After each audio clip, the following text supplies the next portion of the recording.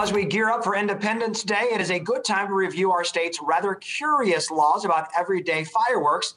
Here to give us an annual refresher, Attorney Tom Sinas of the Sinas Dramis Law Firm, just a couple days away from the booming start, driving our dogs crazy. Tom, remind us how the state and local laws work in terms of regulating consumer fireworks in Michigan, because like it or not, they're on their way.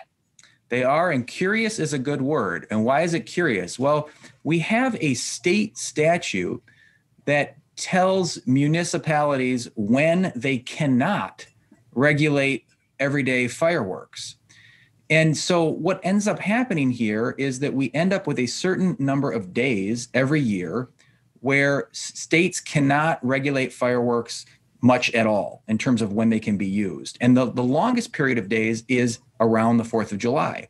And so, what the state statute says is that beginning on June 29th, so this year that's going to be Tuesday, this coming Tuesday, all the way through July 4th, municipalities cannot restrict firework usage between 11 a.m. and 11:45 p.m. So I think some people wonder, I used to wonder this, God, why do these fireworks keep going off for so many hours a day for so many days at a time? Isn't there anything that the city or municipality can do about it?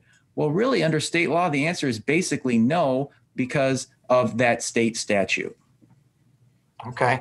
Well, let's talk about maybe some of the other basic safety rules people need to keep in mind because they're going to go buy them if they can get their hands on them for sure. They are, and there's a lot and more than we can cover here, but some of the the really basic ones. When it comes to alcohol and drugs and fireworks, they obviously don't mix from a safety standpoint and they don't mix from a legal standpoint. It is illegal, of course, to use everyday fireworks while you're under the influence of alcohol, drugs, or both. You can't use uh, fireworks on public property or school property or church property or someone else's property unless you have their permission.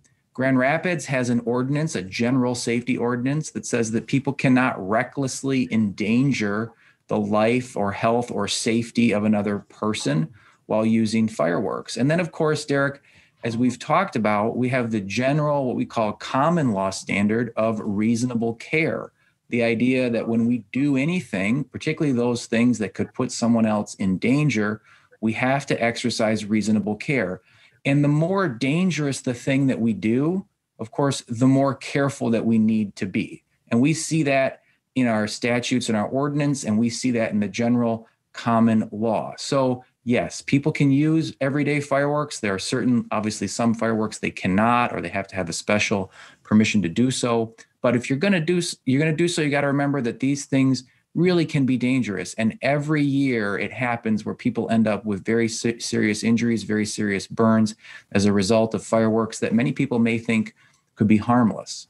All right, good stuff. Tom, where do people track you down? They have any questions about anything at all? They can find us online at www.sinasdramis.com. They can shoot us an email at info at sinasdramis.com or give us a call, 616 301 3333. Good stuff. Happy Independence Day. Thanks, Tom.